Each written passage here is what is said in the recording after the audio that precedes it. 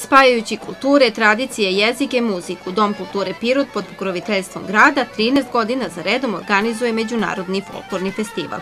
Ove godine publika će moći da uživa u koreografijama ansambala iz Perua, Čilea, Moldavije, Grčke, Bugarske i Poljske, ali i ansambla domaćina Doma kulture. Nakon defilea učesnika ulicama grada, koji je propratio sa aplauzima i ovacijama veliki broj piroćanaca, ovogodišnji festival sinoć je na Omladinskom stadionu svečano otvorio Vladan Vasić, gradonačelnik Pirota.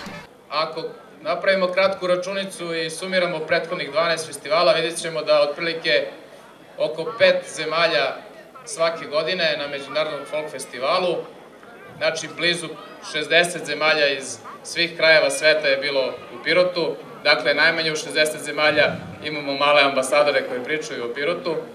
Iz svih kontinenta su dolazili ljudi ovde. Daj Bože da naši folklorci idu u sve te zemlje.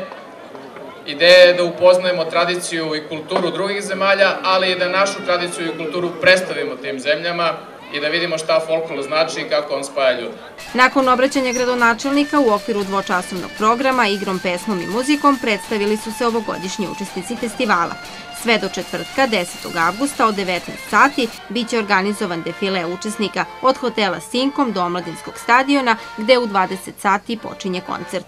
Cena ulaznice za koncert je 50 dinara.